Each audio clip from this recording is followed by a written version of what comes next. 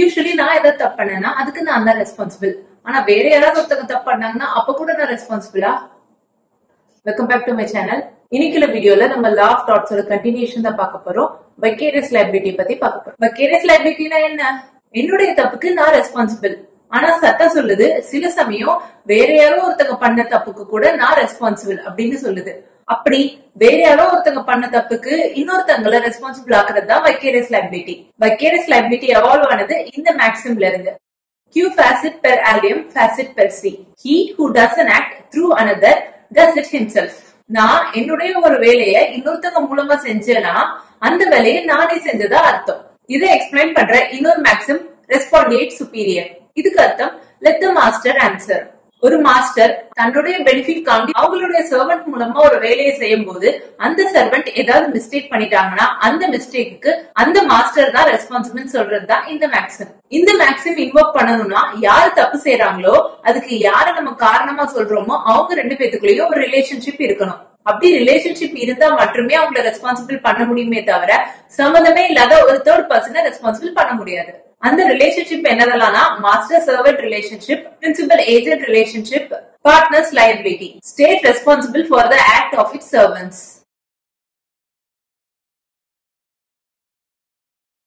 அதாவது என் மூலமா ஆக்ட் பண்ற என்னுடைய சர்வெண்டோ என்னுடைய ஏஜென்ட்டோ ஏதாவது தப்பு பண்ணும்போது அவங்க பண்ண தப்புக்கு நான் தான் ரெஸ்பான்சிபிள் ஆனா ஒரு மாஸ்டரை வைக்கீரியஸா லயபிள் பண்ணணும்னா அதுக்கு சில எசென்ஷியல்ஸ் இருக்கு. அந்த எசென்ஷியல்ஸ் என்னதெல்லாம் நம்ம பார்க்கலாம். அவங்க ரெண்டு பேத்துக்குள்ள மாஸ்டர் சர்வெண்ட் இல்லனா எம்ப்ளாயர் எம்ப்ளாயி அப்படின்ற ரிலேஷன்ஷிப் கண்டிப்பா இருக்கணும். அதை ப்ரூவ் பண்றதுக்கு நம்ம கண்ட்ரோல் டெஸ்ட் யூஸ் பண்ணணும். அதாவது என்னுடைய சர்வெண்ட் என்னுடைய கமாண்ட் இல்ல என்னுடைய ஆர்டருக்கு கீழே மட்டுமே வேலை செஞ்சிருக்கணும். அவருடைய சொந்த வேலையை செய்யக்கூடாது.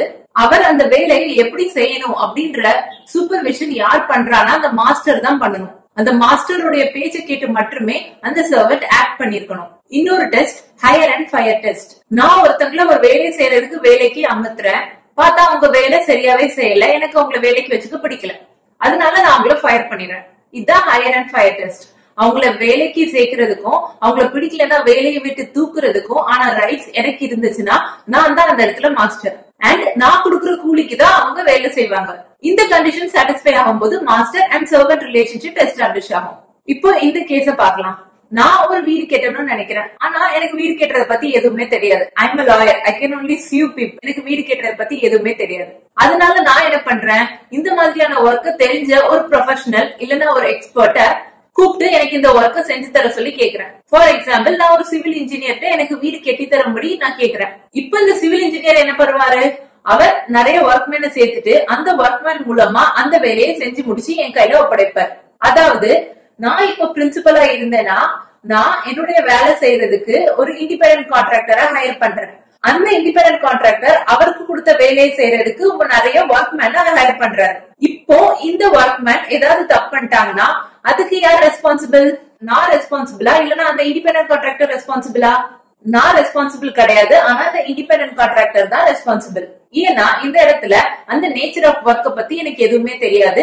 அண்ட் அந்த ஒர்க்மேன் கிட்ட இந்த வேலை இப்படிதான் செய்யணும்னு சொல்லிட்டு நான் எதுவுமே கண்ட்ரோல் பண்ண முடியாது. ஆனா அந்த கண்ட்ரோல் யார்கிட்ட இருக்குன்னா அந்த இண்டிபெண்டன்ட் கான்ட்ராக்டர் கிட்ட இருக்கு. அவர் அவருடைய வேலை ஆட்களை அவர் தான் ஹையர் பண்ணுவாரு. அங்க அந்த வேலையை எப்படி செய்யணும்ன்ற கமாண்ட குடுக்கறது அவர் தான் அண்ட் அவங்க செய்யற வேலைக்கு இவர் தான் ஊதியம் கொடுப்பாரு. அண்ட் அவங்க செய்யற வேலை இவருக்கு பிடிக்கலன்னா இவரே ஃபயர் பண்ணிப்பார். இதுக்கு நடுவுல நான் ஆஸ் அ பிரின்சிபலா என்டர் ஆகவே மாட்டேன். சோ நான் ஒரு இண்டிபெண்டன்ட் கான்ட்ராக்டர் மூலமா ஒரு வேலையை செஞ்சேன்னா அப்போ அவருக்கு கீழே வேலை பார்க்கிற ஒர்க்மேன் ஏதாவது தப்பு பண்ணும்போது அதுக்கு நான் ரெஸ்பான்சிபிள் கிடையாது.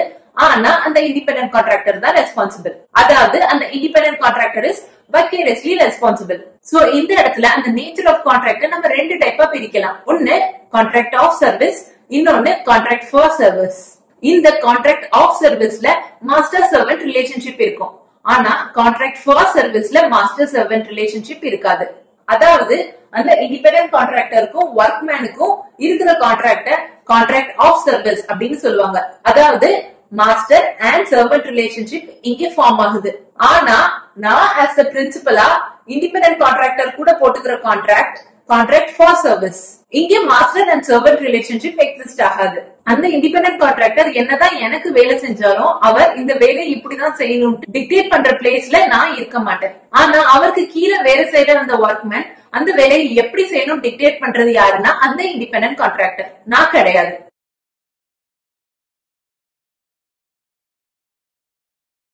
சோ இப்ப புரியுதா? மாஸ்டர் அண்ட் சர்வன்ட் ரிலேஷன்ஷிப் எப்படி வருதுன்னு? கோவிந்தராஜுலு வெர்சஸ் கோவிந்தராஜா முதலியார். இந்த கேஸ்ல என்ன ஆகுதுன்னா ஒருத்தர் அவருடைய லாரி ரிப்பேர் ஆனதுனால அதை சரி செய்யறதுக்கு கராஜ்ல விட்டுறாரு. அந்த சாவியை அந்த கராஜோட எம்ப்ளாயர்கிட்ட கொடுத்துட்டு இது சரி செஞ்சதுக்கு அப்புறம் எங்க வீட்டுல வந்து கொண்டுட்டு வந்து விட்டுருங்க அப்படின்னு சொல்லிட்டு கொடுத்துட்டு போறாரு. இப்ப என்ன ஆகுதுன்னா அந்த கராஜ்ல வேலை செஞ்ச ஒரு வேலையார் அந்த லாரியை யாரோட பெர்மிஷனும் இல்லாம அவர் படுக்க ஓட்டுறாரு. அவர் ஓட்டிட்டு போற வழியில ஆக்சிடென்ட்டும் பண்ணிடுறாரு. இப்ப அந்த ஆக்சிடென்ட்ல அடிப்பட்ட விக்டிம் என்ன பண்றாங்கன்னா இந்த டிரைவரை சூப் பண்ணது மட்டும் இல்லாம இந்த லாரியோட ஓனரா நம்ம டிஃபினட்டையும் சூப் பண்றாரு. கோர்ட் என்ன சொல்லுதுன்னா என்னதான் அந்த லாரியோட ஓனர் இந்த டிஃபினட்டா இருந்தாலும் அந்த லாரி அந்த கராஜோட முதலாளி கிட்ட தான் இருக்கு. அந்த இடத்துல அந்த முதலாளி ஒரு இண்டிபெண்டன்ட் கான்ட்ராக்டரா ஆகுறாரு. அந்த லாரி அந்த இண்டிபெண்டன்ட் கான்ட்ராக்டர் கண்ட்ரோல்ல இருக்கும் போதுதான் ஆக்சிடென்ட் ஆகுதுன்றதுனால ஆஸ் அ ஓனரா டிஃபினட்டா ரெஸ்பான்சிபிள் பண்ண முடியாது அப்படின்னு கோர்ட் சொல்லிருது இப்ப நம்ம மெடிக்கல் நெக்லிஜென்ஸ் கேசஸ் எடுத்துக்கலாம். இப்போ ஒரு டாக்டர் ஒரு ஹாஸ்பிட்டல்ல வேலை செய்யறாரு அந்த ஹாஸ்பிட்டலுக்கு வர பேஷண்ட்ஸை இந்த டாக்டர் ட்ரீட் பண்றாரு. அந்த டைம் இந்த டாக்டரோட நெக்லிஜென்ஸ்னால ஏதாவது பேஷண்ட்ஸ்க்கு ஏதாவது பாதிப்பு ஏற்பட்டுச்சுன்னா அப்போ வெறுமனே அந்த டாக்டர் மட்டும் ரெஸ்பான்சிபிள் சொல்லலாமா இல்ல அந்த ஹாஸ்பிட்டலையே சேர்த்து ரெஸ்பான்சிபிள் ஆக்கலாமா? இந்த பர்டிகுலர் கேஸ்ல என்ன ஆகுதுன்னா நம்மளுடைய பெட்டிஷனர் சவிதா அவங்களுடைய ஹஸ்பண்ட் ஒரு ஹார்ட் சர்ஜரி பண்ணி இறந்து போயிடுறாரு. இதுக்கு அவங்க அந்த டாக்டர்ஸ் அண்ட் அந்த ஹாஸ்பிட்டலையே சேர்த்து ரெஸ்பான்சிபிள் பண்றாங்க. அந்த ஹாஸ்பிட்டல் சார்பா என்ன சொல்றாங்க? இவருடைய நேச்சர் ஆஃப் ஒர்க் நான் கண்ட்ரோல் பண்ணல. அதனால இவர் ஏதாவது தப்பு பண்ணாருன்னா அதுக்கு அஸ் அ ஹாஸ்பிட்டல்ல நான் ரெஸ்பான்சிபிள் ஆக முடியாது அப்படின்னு டிஃபென்ஸ் எடுக்கிறாங்க. ஆனா கோர்ட் என்ன சொல்றாங்க? அப்படியெல்லாம் சொல்லி நீங்க எஸ்கேப் ஆயிட முடியாது. தோ அந்த டாக்டரோட நேச்சர் ஆஃப் ஒர்க் நீங்க கண்ட்ரோல் பண்ணலனாலும் அந்த டாக்டரை ஹையர் பண்ண பர்பஸ் பேஷண்ட் ட்ரீட் பண்றது சர்ஜரி பண்றது அந்த மாதிரி தான் அண்ட் அந்த ஒர்க் தான் அந்த டாக்டர் செஞ்சிருக்கிறாரு. அண்ட் அதுல ஏதாவது பேஷண்ட்ஸ் பாதிக்கப்படும் போது ஆஸ் அ ஹாஸ்பிட்டலா நீங்களும் ரெஸ்பான்சிபிள் தான். ஏன்னா அந்த டாக்டரை ஹையர் பண்ணது யாருன்னா நீங்க தான் இன்கேஸ் அந்த டாக்டர் இது வரைக்கும் யாருமே செய்ய முடியாத ஒரு சர்ஜரியை செஞ்சுட்டாங்க. அதனால நானே அவங்கள பாராட்டுதுன்னா அந்த டாக்டர் எங்களுடைய ஹாஸ்பிட்டல்ல தான் ஒர்க் பண்ணாரு. நீங்களும் பெருமைதான் பட போறீங்க. ஆனா அதே டாக்டர் ஏதோ நெக்லிஜென்டா ஏதோ தப்பு பண்ணும் போதும் நீங்க தான் அந்த ரெஸ்பான்சிபிலிட்டியை எடுத்துக்கணும்.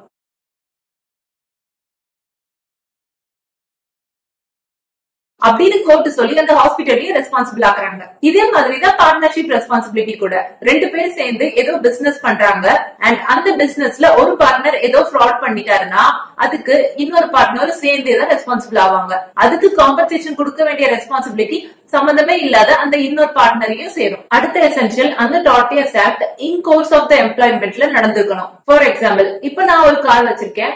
அந்த காரை என்னுடைய டிரைவர்கிட்ட கொடுத்துட்டு இது பெட்ரோல் ஃபில் பண்ணிட்டு வந்துருங்க அப்படின்னு சொல்றேன் இப்போ அவர் பெட்ரோல் ஃபில் பண்ண போகாம அவருடைய பர்சனல் ஒர்க் எதையோ பார்க்க போயிடுறாரு. போன இடத்துல அவர் ஒரு ஆக்சிடென்ட்டையும் பண்ணிடுறாரு. அதுக்கு நான் ரெஸ்பான்சிபிள் கிடையாது. ஏன்னா நான் அவரை பெட்ரோல் தான் போட சொன்னேன். ஆனா அவர் பெட்ரோல் போடாம அவருடைய பர்சனல் ஒர்க்க பார்க்க போயிடுறாரு அப்போ இந்த இடத்துல இது இன் கோர்ஸ் ஆஃப் எம்ப்ளாய்மெண்ட் சேராது. அப்படி ஒரு எம்ப்ளாயி ஏதாவது ஒரு மிஸ்டேக் பண்ணும்போது அதுக்கு எம்ப்ளாயர் ரெஸ்பான்சிபிள் கிடையாது. நம்ம இந்த கேஸ் எடுத்துக்கலாம். இந்த கேஸ்ல என்ன ஆகுதுன்னா ஒரு எம்ப்ளாயர் இருக்காரு. அந்த எம்ப்ளாயர் ஒரு லாரி வச்சிருக்காரு அண்ட் அந்த லாரிக்கு ஒரு டிரைவர் போட்டு அவரை ஓட்ட சொல்லுவாரு. அந்த வண்டியில அந்த கம்பெனியோட எம்ப்ளாயிஸ மட்டும்தான் ஏத்தணும். வேற வெளியாட்கள் எதையும் ஏத்தக்கூடாது. அப்படின்னு ஆர்டர் கொடுத்துதான் அந்த டிரைவரை அனுப்பி விட்டுருப்பாரு. அந்த டிரைவருடைய ஒர்க் அந்த எம்ப்ளாயிஸ அவங்களுடைய வீட்டுல இருந்து இந்த வேலை செய்யற இடத்துக்கு கூட்டிட்டு வரணும். அந்த வேலை செய்யற இடத்துல இருந்து அவங்களுடைய வீட்டுக்கு போய் விட்டுறணும். இதுக்கு நடுவுல வேற வெளியாட்களை யாரையும் ஏத்தக்கூடாது அப்படின்னு ஸ்ட்ரிக்டா சொல்லி தான் அனுப்பியிருப்பாரு. இருந்தாலும் அந்த டிரைவர் என்ன பண்ணுவாரு? நம்மளுடைய பெட்டிஷனருக்கு ஒரு நாள் லிஃப்ட் கொடுத்துடுறாரு. அன்னைக்குன்னு பார்த்தா அவங்க வண்டி ஆக்சிடென்ட் ஆயிருது நம்மளுடைய பெட்டிஷனருக்கு ரொம்ப அடிபட்டுருது. அதனால அந்த பெட்டிஷனர் அந்த டிஃபனர் கம்பெனியை சூ பண்றாரு. கோர்ட் என்ன சொல்றாங்க நீ வாலண்டியரா அவங்க வண்டியில ஏறி போன அது உன்னுடைய தப்பு. அதுல ஏதாவது ஆக்சிடென்ட் நடந்துச்சுன்னா அதுக்கு அந்த டிஃபரண்ட் கம்பெனியை ரெஸ்பான்சிபிள் பண்ண முடியாது அப்படின்னு சொல்லிடுறாங்க. இந்த கேஸோட இந்தியன் அப்ளிகேஷன் தான் Premavati versus state of Rajasthan இந்த கேஸ்ல என்ன ஆகுதுன்னா ஒரு கவர்மெண்ட் சர்வெண்ட் ஒரு டிரைவர் அவர் கராஜ்ல விட்டிருந்த ஒரு கவர்மெண்ட் ஜீப்ப திருப்பி எடுத்துட்டு ஒர்க்குக்கு வந்துட்டு இருப்பார் வர வழியில அவர் என்ன செய்யறாருன்னா பெட்டிஷனரோட ஹஸ்பண்ட பாக்குறாரு. அண்ட் பெட்டிஷனருடைய ஹஸ்பண்ட் அவர்கிட்ட லிஃப்ட் கேக்குறாங்க. அந்த டிரைவரும் என்ன பண்ணிடுறாரு? லிஃப்ட் கொடுத்துடுறாரு. பார்த்தா போற வழியில ஆக்சிடென்ட் ஆயிருது அந்த ஆக்சிடென்ட்ல அந்த பெட்டிஷனருடைய ஹஸ்பண்ட் இறந்தும் போயிடுறாங்க. அதனால பெட்டிஷனர் ஒரு கவர்மெண்ட் சர்வெண்டோட ஆக்டுக்கு அந்த கவர்மெண்ட்ட சூ பண்றாங்க. அதான் ஸ்டேட் ஆஃப் ராஜஸ்தான் கோர்ட் என்ன சொல்லிடுறாங்க? முன்னாடி பார்த்த கேஸ் மாதிரியே இந்த கேஸ்லயும் டிஃபரெண்ட் ரெஸ்பான்சிபிள் கிடையாது அப்படின்னு சொல்லிடுறாங்க. ஆனா இந்த அப்ரோச் ரொம்ப கேசஸ்ல ஃபாலோ பண்ணப்படல. ஏன்னா இதுக்கு அகேன்ஸ்ட் ரொம்ப கிரிட்டிசிசம் ஃபார்ம் ஆயிருச்சு. ஏன்னா ஒரு அவசரமான சுச்சுவேஷன்ல நம்ம நிப்ட் கேட்டு இன்னொருத்தவங்க வண்டியில போறதுன்றது ஒரு சாதாரணமான விஷயம் தான் அந்த டைம்ல ஆக்சிடென்ட் ஆயிடுச்சுன்னா பாதிக்கப்பட்டவங்களுக்கு எந்த காம்பன்சேஷனே இல்லாம அப்படியே போக சொல்றது தப்பு அப்படின்னு நிறைய கிரிட்டிசிசம் வந்ததுனால கோர்ட் இந்த அப்ரோச்ச ரொம்ப ஃபாலோ பண்றது கிடையாது. எப்படி ஒரு சர்வெண்ட் பண்ண மிஸ்டேக்கு அவங்க மாஸ்டர் லயபிளோ அதே மாதிரியே ஒரு கவர்மெண்ட் சர்வெண்ட் இல்லைன்னா ஒரு கவர்மெண்ட் எம்ப்ளாயி ஏதாவது மிஸ்டேக் பண்ணாங்கன்னா அந்த கவர்மெண்ட்டும் வில் பி ஹெல்த் லயபிள் ஆரம்ப காலத்துல நிறைய கேசஸ்ல sovereign function non sovereign function அப்படின்னு சொல்லி பிரிச்சிருப்பாங்க. இப்போ ஸ்டேட் ஒரு சாவரின் ஃபங்க்ஷனை செய்யுது. அதாவது அந்த பர்டிகுலர் ஃபங்க்ஷனை அந்த ஸ்டேட்டை தவிர வேற எந்த பிரைவேட் செக்டர்ஸாலையும் செய்ய முடியாது. அப்படி இருக்கிற ஃபங்க்ஷன் பேரு தான் சாவரின் ஃபங்க்ஷன் அப்படின்னு சொல்றோம். ஃபார் எக்ஸாம்பிள் டிஃபென்ஸ் போலீஸ் இதெல்லாம் ஒரு சாவரின் ஃபங்க்ஷன் இது எக்ஸ்க்ளூசிவா கவர்மெண்ட் மட்டுமே செய்யுமே தவிர வேற எந்த பிரைவேட் செக்டர்ஸுமே செய்ய முடியாது. அதனால இந்த மாதிரியான ஃபங்க்ஷன் சாவரின் ஃபங்க்ஷன் அப்படின்னு சொல்லுவோம். இப்போ ஸ்டேட் வந்து ஒரு ஹோட்டல் நடத்துதுன்னு வச்சுக்கலாம். ஸ்டேட் ஒரு ஹோட்டல் நடத்துறது சாவரின் ஃபங்க்ஷன் கிடையாது. ஏன்னா இந்த ஃபங்க்ஷனை யாருனாலும் செய்யலாம். இப்போ இந்த மாதிரியான நான் சாவரின் ஃபங்க்ஷனை செய்யும் போது அந்த எம்ப்ளாயி ஏதாவது மிஸ்டேக் பண்ணிட்டாங்கன்னா அப்போ அந்த state will be held liable ஆனா இந்த சாவரின் ஃபங்க்ஷன் செய்யும் போது அந்த எம்ப்ளாயி இல்ல அந்த பர்டிகுலர் கவர்மெண்ட் சர்வெண்ட் ஏதாவது மிஸ்டேக் செஞ்சுட்டாங்கன்னா அந்த time the state will not be held liable அப்படின்ற கான்செப்ட முன்னாடி ஃபாலோ பண்ணிருந்தாங்க பட் சப்சிக்வெண்டா இருக்கிற எல்லா கேசஸ்லயும் state will also be liable just like other persons அப்புறம் அப்புறம் வந்த கேசஸ்ல the king can also do no wrong அப்படின்ற கான்செப்ட ஃபாலோ பண்ண ஆரம்பிச்சாங்க. அதனால ஸ்டேட் சாவரின் ஃபங்க்ஷன் பண்ணாலும் சரி நான் சாவரின் ஃபங்க்ஷன் பண்ணாலும் சரி அது மூலமா யாருக்கு பாதிப்பு ஏற்பட்டாலும் அதுக்கு the state will be held liable இந்த கான்செப்ட தான் இப்ப ஃபாலோ பண்ணிட்டு இருக்காங்க. அண்ட் வெக்கேரியஸ் லயபிலிட்டிக்கு நிறைய எக்ஸெப்ஷன்ஸ் இல்லன்னா டிஃபென்சஸ் கூட இருக்கு. மொதல் defence negligent of the servant ஒருவேளை அந்த சர்வெண்டோடைய ஓன் நெக்லிஜென்ஸ்னாலதான் அந்த மிஸ்டேக் நடந்துச்சு இல்ல அந்த டோட்டியஸ் ஆக்ட் நடந்துச்சு அப்படின்னு சொன்னா அந்த இடத்துல அந்த சர்வெண்டோடைய மாஸ்டரை ரெஸ்பான்சிபிள் பண்ண முடியாது அப்படின்னு சொல்றதுதான் இந்த டிஃபென்ஸ் அதாவது அந்த மாஸ்டர் அந்த டாட்டியஸ் ஆக்ட் நடந்தது எக்ஸ்க்ளூசிவா அந்த சர்வெண்டோடைய மிஸ்டேக் தான் அப்படின்னு ப்ரூவ் பண்ணிட்டாருன்னா அந்த மாஸ்டர் எந்த விதமான ரெஸ்பான்சிபிலிட்டி எடுத்துக்க வேண்டாம். அடுத்த defence acts outside the course of employment இப்ப அந்த எம்ப்ளாயி ஏதோ ஒரு டாட்டியஸ் ஆக்ட் பண்ணிட்டாரு அண்ட் அந்த வேலையை அவர் கோர்ஸ் ஆஃப் எம்ப்ளாய்மெண்ட்ல செய்யாம அவர் இஷ்டப்படி அவருடைய பர்சனல் ஒர்க்கை செய்யும் போது இல்ல வேற ஏதாவது ஒரு ஒர்க்கை செய்யும் போது அந்த டாட்டேஸ் ஆக்ட் நடந்துச்சுன்னா அந்த டைம்ல மாஸ்டர் ரெஸ்பான்சிபிள் கிடையாது. ஃபார் எக்ஸாம்பிள் நம்ம லிப்ட் கொடுத்த கேசஸ் எல்லாம் பார்த்தோம். இந்த மாதிரியான cases outside the course of employment அப்படின்னு சொல்லுவாங்க. அதாவது master or principal or employer responsible கிடையாதுன்னு அர்த்தம். அடுத்த டிஃபரன்ஸ் இண்டிபெண்டன்ட் கான்ட்ராக்டர் சோ நம்ம எக்ஸாம்பிள்ஸ்ல பார்த்தோம். ஒரு ஒர்க்கை நான் இண்டிபெண்டன்ட் கான்ட்ராக்டர் மூலமா வச்சு செஞ்சேன்னா அவருக்கு கீழே ஒர்க் பண்ற அந்த ஒர்க்மேன் செய்யற மிஸ்டேக்ஸ்க்கு நான் ரெஸ்பான்சிபிள் கிடையாது. ஆனா அந்த இண்டிபெண்டன்ட் கான்ட்ராக்டர் தான் ரெஸ்பான்சிபிள் சோ இதுல இருக்கிற ஏதாவது டிஃபென்ஸ் யூஸ் பண்ணான்னா அந்த மாஸ்டர் எஸ்கேப் ஆகிடுறாங்க. சோ இந்த வீடியோ அவ்வளவுதான். இது மாதிரி இன்னொரு வீடியோல உங்களை பாக்குறேன் அது வரைக்கும் பை